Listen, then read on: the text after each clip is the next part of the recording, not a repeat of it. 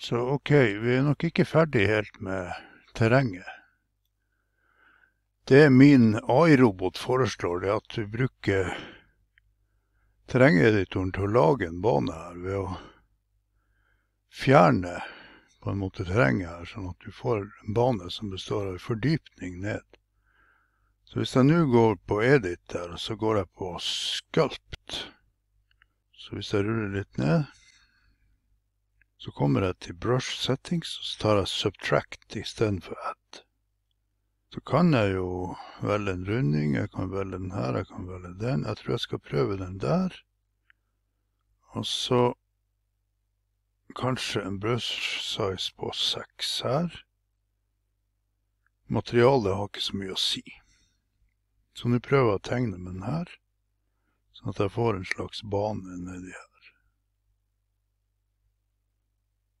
Så